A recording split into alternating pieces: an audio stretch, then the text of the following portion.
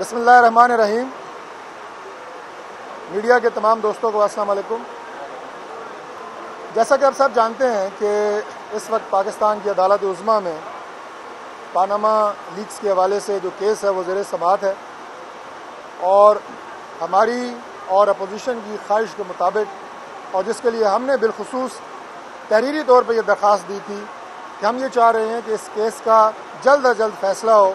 اور روزانہ کی بنیادوں کے اوپر اس کی سماعت ہو، تو اب سپریم کورٹ آف پاکستان اس کیس کی روزانہ کی بنیادوں کے اوپر سماعت کر رہی ہے۔ ہمیں یہ بات کرتے ہوئے بہت خوشی محسوس ہوتی ہے کہ ہمارا موقف جو پہلے دن سے تھا، آج تک وہی موقف ہم اپنائے ہوئے ہیں۔ وہی تمام نکات جو ہم نے یہ کیس شروع ہوتے ہوئے عدالت کے سامنے اور میڈیا کے سامنے رکھے تھے، بالکل وہی نکات ابھی تک ہم عدالت کے سامنے رکھے ہوئے ہیں۔ ہمارا سٹینڈ آج بھی وہی ہے اور الحمدللہ اس سٹینڈ کی عدالت میں بھی سنوائی بھی ہے، پذیرائی بھی ہے اور اس کو مانا بھی جا رہا ہے۔ جبکہ دوسری طرف سٹینڈ کچھ اور تھا، الزامات کچھ اور تھے اور وقت گزرنے کے ساتھ ساتھ وہ الزامات ایک سائڈ پہ ہوتے گئے۔ ان الزامات کو ثابت کرنے کے لیے تحریک انصاف کوئی ثبوت فراہم نہ کر سکی اور ہمارے فراہم کردہ ثبوت جو ہم نے اپنے حق میں دیے تھے، وہ کاغذ کھنگالتے رہے کہ شاید ان میں سے کچھ نکل سکے۔ پرائم منسٹر صاحب کی تقاریر کو ان کا موازنہ کرتے رہے، لیکن انہیں کچھ حاصل نہ ہوا۔ ان کے دلائل مکمل ہو چکے ہیں۔ ابھی ہمارے دلائل جاری ہے اور آج جو سب سے اہم خبر ہے، آج کی پروسیڈنگز کی، جو میں سمجھتا ہوں کہ ہمارا شروع سے موقف تھا، آج الحمدللہ عدالت نے اس موقف کی تائید کی ہے۔ اور عدالت نے آج یہ بات کہی ہے the prime minister of Pakistan is not accused in this case وزیر اعظم پاکستان اس کیس میں ملزم نہیں ہے۔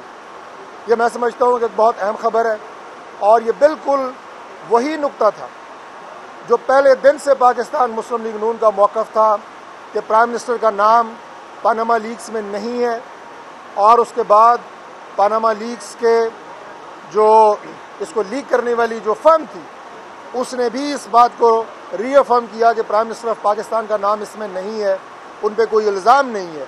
اگر ان کے بچوں کو کچھ اپارٹمنٹس کا ذکر اس میں آیا تو ہم نے یہ کہا کہ ہم ان کا پورا منی ٹریل بھی دیں گے اور یہ بتائیں گے کہ کس دور میں، کس حیثیت میں، کس وقت وہ اپارٹمنٹ خریدے گئے۔ اور پرائم منسٹر کا ان سے کوئی تعلق نہیں ہے۔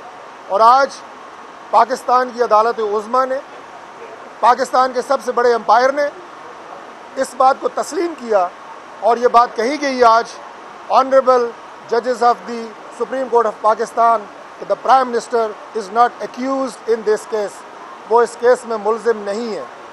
باقی جہاں تک ان کے بچوں کا تعلق ہے، آج یہ بھی اسٹیبلش ہوا کہ محترمہ مریم نواز شریف صاحبہ پرائم منسٹر پہ ڈپینڈنٹ نہیں ہے۔ ہماری کچھ سوشل، کچھ معاشرے کی کچھ روایات ہوتی ہیں۔ بچیوں کو، بیٹیوں کو تحفے دینا، تحائف دینا، یہ ہمارے معاشرے کی اعلیٰ ترین اقدار ہیں پرائم منسٹر کے تین بچے ملک سے باہر ہیں۔ پرائم منسٹر کا صرف ایک بیٹی مریم نواز شریف صاحبہ وہ پاکستان میں موجود ہے۔ اور وہ اگر پرائم منسٹر کے ساتھ رہ رہی ہیں تو اس کا یہ مطلب نہیں ہے کہ وہ ان کی زیر کفالت ہے۔ تو آج عدالت نے ہمارے اس موقف کو بھی تسلیم کیا کہ مریم نواز شریف صاحبہ پرائم منسٹر کی زیر کفالت نہیں ہے، جو اپوزیشن یہ سمجھ رہی تھی کہ بہت بڑا انہوں نے کوئی پنڈورا باکس رکھا ہوا ہے، بہت سارے انہوں نے جھوٹے الزامات لگائے، لیکن ہمارے اس موقف کو بھی تسلیم کیا گیا۔ تو ہم یہ سمجھتے ہیں کہ یہ جو آپ روزانہ کی بنیادوں کے اوپر اس کیس کی سماعت ہو رہی ہے، یہ بہت اعلیٰ ہے، الحمدللہ۔ ہمارے تمام موقف کو تسلیم کیا جا رہا ہے۔ جہاں تک بات ہے منی ٹریل کی، ہمارے پاس وہ تمام ثبوت بھی موجود تھے۔ عدالت کے سامنے آج پیش کیے گئے کہ کس طرح دبئی کا بزنس شروع ہوا۔ باقی اگر کچھ ایسی چیزیں جو پچھلے چالیس سال میں، پچھلے چالیس سال میں اگر کوئی ڈاکومنٹ جو ان کی ریکوائرمنٹ ہوگی میکسیمم میکسیمم جس حد تک ممکن ہے، وہ سارے کے سارے ڈاکومنٹس ہم نے دیے ہیں۔ وہ پورا منی ٹریل بھی ثابت ہو رہا ہے۔ اور آج ان شاء اللہ تعالیٰ آپ دیکھیں گے کہ اپوزیشن کے تمام جھوٹے دعوے، ان کی تمام جھوٹی الزامات وہ رد ثابت ہوں گے۔ جس طرح ان کے ثبوت ردی کی ٹوکری میں گئے ہیں جس طرح ان کے ثبوت تمام میڈیا پہ۔ ایک آپ یہ کہیں کہ وہ لوگوں کے لیے کوئی امپریشن بنانے کی بجائے وہ لوگوں کے لیے ایک مذاقہ خیز چیز بنے رہے۔ لوگ اس پہ ہنستے رہے۔ تو آج بھی آپ دیکھیں گے، آج عدالت کی کاروائی اور اس کے بعد اس کا منطقی نتیجہ، دودھ کا دودھ، پانی کا پانی ہوگا۔ حق اور سچ کی فتح ہوگی انشاءاللہ۔ اور پاکستان تحریک انصاف کو جس طرح اس سے پہلے جھوٹے الزامات کی پاداش میں شرمندگی اٹھانی پڑی، اس کے بعد میں سمجھتا ہوں کہ وہ کبھی بھی سڑکوں پہ آنا، دھرنے دینے، پاکستان کی جمہوریت کے خلاف سازشیں پاکستان کی ترقی اور معیشت کے خلاف سازشیں یہ ساری زندگی کے لیے انشاءاللہ تعالی بند ہو جائیں گی۔ اس کے بعد۔ بسم اللہ الرحمن الرحیم۔ جیسے کہ ڈاکٹر طارق فضل صاحب نے آپ کو بتایا اس بات کو مزید آگے بڑھاتے ہوئے، آج ایک اور بہت ہی اہم بات ہوئی ہے عدالت میں۔ وہ یہ کہ جب نائنٹین نائنٹی سیون میں، انیس سو ستانوے میں وزیر اعظم صاحب پرائم منسٹر بنے، تو اس کے بعد ایک کیس چلا جس میں پرائم منسٹر صاحب باقاعدہ آپ نے تمام کاروباری ذمہ داریوں سے دستبردار ہو گئے۔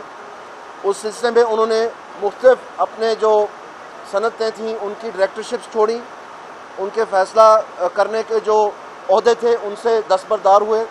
اور باقاعدہ عدالت کی سیٹسفیکشن کے مطابق انہوں نے اپنا کانفلکٹ آف انٹرسٹ جو کہ پاکستان میں قانون بھی نہیں تھا، بالکل اسی انداز میں، جیسے کہ اب آ کے انہوں نے کورٹ کے سامنے اپنے آپ کو، اپنے خاندان کو سرنڈر کیا۔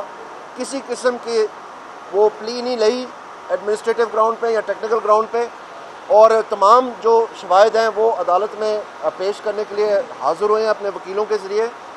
اسی طرح نائنٹی سیون میں وہ تمام تر اپنے کاروباری جو سلسلے تھے ان سے دستبردار ہو گئے۔ یہ ریکارڈ کی بات ہے۔ اس میں جیو نیوز پہ حامد میر کا انٹرویو چلا اور اس نے باقاعدہ یہ ساری چیزیں ریکاؤنٹ کی۔ تو جس جس وقت یہ چیزیں سامنے آئیں اور باقاعدہ اس چیز کا پرچار کیا گیا عدالت میں تو اس وقت یہ کمنٹس بھی پاس کیے گئے کہ جس شخص نے اپنے تمام کاروبار سے دستبردار ہو گیا، اس کو آپ کیسے مجرم ٹھہرا سکتے ہیں یا ذمہ دار ٹھہرا سکتے ہیں؟ تو یہ بھی آج کی کاروائی تھی، لیکن بات یہاں مکمل نہیں ہوتی۔ بات بالکل یہاں مکمل نہیں ہوتی، کیونکہ اصل میں ایک توڑ مڑوڑ کے، ایک جھوٹ کے پلندے جو کہ ایک رویہ اور رواج اور ایک طریقہ کار بن چکا ہے پی ٹی آئی کا، اور یہ صرف پی ٹی آئی کے ساتھ منسلک نہیں، یہ ہر مرتبہ جب بھی پرائم منسٹر نواز شریف صاحب اپنی سیاسی قوت کا اظہار کرتے ہیں، اپنی مقبولیت کا اظہار کرتے ہیں، تو اس وقت مختلف قسم کے روڑے جو ہیں ان کے راستے میں اٹکانے کی کوشش کی جاتی ہے۔ یہ کیس جو ہے، یہ نیا نہیں ہے۔ یہ ظفر علی شاہ کیس میں بھی رپیٹ ہوا ہے۔ اس سے پہلے بھی رپیٹ ہوتا چلا آ رہا ہے۔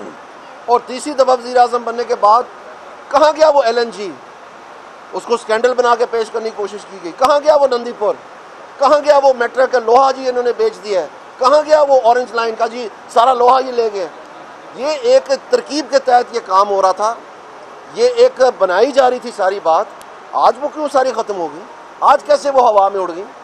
اور اسی طرح سے یہ بھی، جبکہ پینما لیگس نے شروع دنوں میں ہی یہ کہہ دیا کہ بالکل کسی طور پر پرائم منسٹر کا نام نہیں ہے اس میں، تو اس کے باوجود اس کو چلاتے چلے گئے۔ تو یہ بات مریم نواز صاحبہ کے اوپر جو ایک نشانہ، لیکن اگلا جو سوال ہے وہ بھی بہت اہم ہے کہ آخر کار مریم صاحبہ کا جو انکم ہے وہ کہاں ہے؟ اس کے اوپر مختلف تومتیں آتی رہی ہیں کہ جی ان کے ٹریول کے حوالے سے خرچے زیادہ ہیں۔ یہ عجیب بھونڈا انداز ہے سیاست کا، صرف الزام پہ الزام لگاتے چلے جانا۔ تو آج جو عدالت میں پیش ہوئی ہے، ان کا ٹیکس نمبر ان کے ٹیکس ریٹرن ان کی آمدن، ان کے تمام تر ذرائع جو ہیں، وہ ان کے بھی پیش کی گئے تو آپ اب مجھے بتائیں، یہ جو آپ لوگوں کی آنکھوں میں دھول جھانکتے ہیں، آپ کو شرم نہیں آنی چاہیے؟ یہ ٹائم آ رہا ہے کہ پینما جو انکوائریز ایکٹ ہے وہ بھی اسمبلی سے پاس ہو گیا وہ ان شاء اللہ تعالیٰ قانون بنے گا۔ اور انہی کو جو کہتے ہیں کہ میں نے جمائمہ سے قرضہ لے کر یہ زمین خریدی ہے، یہی عمران خان۔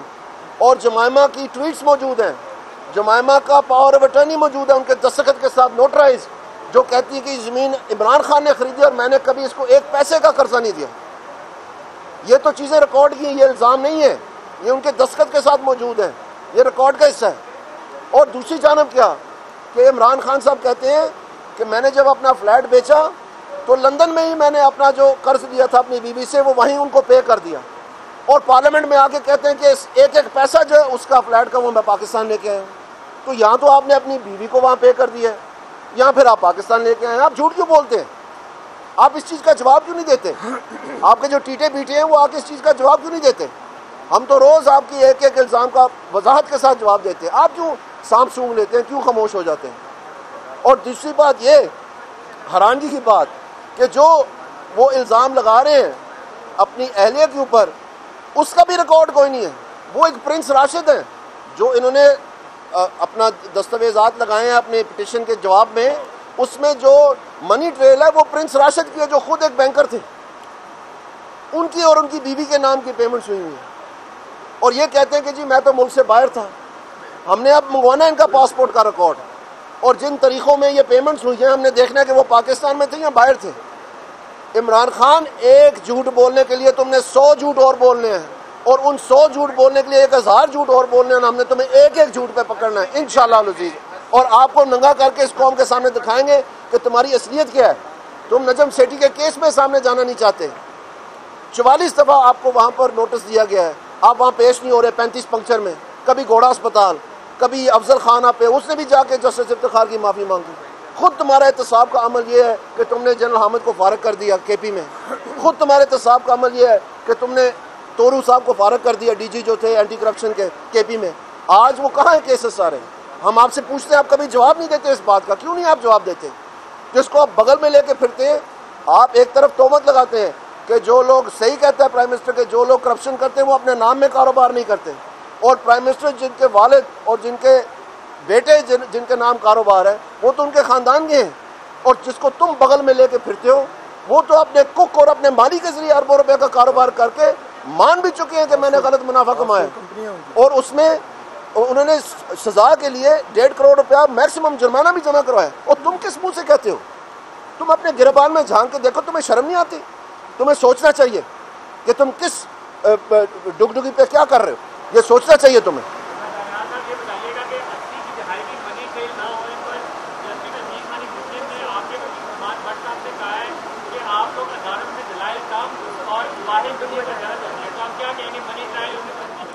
میں آپ کو بتانا چاہتا ہوں کہ ہمارا جو آرگیومنٹس کا مرحلہ ہے، وہ پہلا مرحلہ ہے۔ اس میں وزیر اعظم صاحب کے وکیل اور ہیں۔ انہوں نے وزیر اعظم صاحب چونکہ ان کا نام ہی نہیں ہے، انہوں نے ایک محدود حد تک اپنی بحث کرنی تھی۔ جو نواز شریف صاحب کے بچے ہیں، ان کی کسی حد تک جو ڈپینڈنٹ کے حوالے سے نواز شریف کے ساتھ باتیں منسلک تھی ان کا جواب دیا گیا ہے۔ جب ان کی باری آئے گی، وہ بھی مکمل جواب دیا جائے گا انشاءاللہ۔ بہت مہربانی۔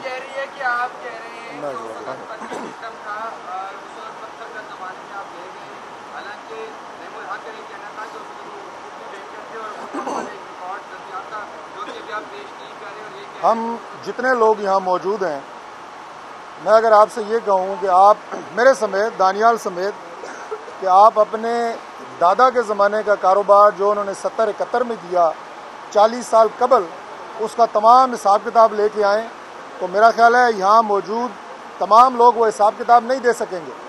لیکن اس کے باوجود ہم عدالت عظما کے سامنے وہ حساب کتاب دے رہے ہیں۔ مشرف کے زمانے میں جب ماشاء اللہ لگا تو ہمارا تمام ریکارڈ ضبط کر لیا گیا، اٹھا لیا گیا، آج تک ہمیں واپس نہیں کیا گیا۔ اور اس میں نیب کو باقاعدہ سزا ہوئی کہ آپ نے یہ ریکارڈ کیوں غائب ہوا؟ اس ریکارڈ کا کوئی حساب کتاب دیں۔ لیکن اس کے باوجود ہم نے وہ تمام ریکارڈ جو ہم ریٹریو کر سکتے تھے، ہم نے کیا اور عدالت کے سامنے پیش کیا۔ اور میں ایک آخری جملہ کہنا چاہتا ہوں۔ مریم نواز شریف صاحبہ کے حوالے سے جو آج تشریح ہوئی ہمارے مخالفین کے جو ان کی مقبولیت سے خوفزدہ ہیں، جو ان کی شہرت سے خوفزدہ ہیں اور ان کی ذات کے حوالے سے یہ منفی پروپیگنڈے کرتے رہتے ہیں۔ آج وہ تمام ثبوت عدالت میں دیے گئے، عدالت نے تسلیم کیا۔ اور یہ پیغام میں ان لوگوں کو دینا چاہتا ہوں پاکستان میں کہ ہم اپنی بیٹیوں کی عزت بھی کرتے ہیں، ہم انہیں تحفے بھی دیتے ہیں، ہم ان کا خیال بھی کرتے ہیں۔ ان لوگوں کو پیغام دینا چاہتا ہوں جو اپنی بیٹیوں کو اپنا نام دینے سے بھی ڈرتے ہیں۔ بہت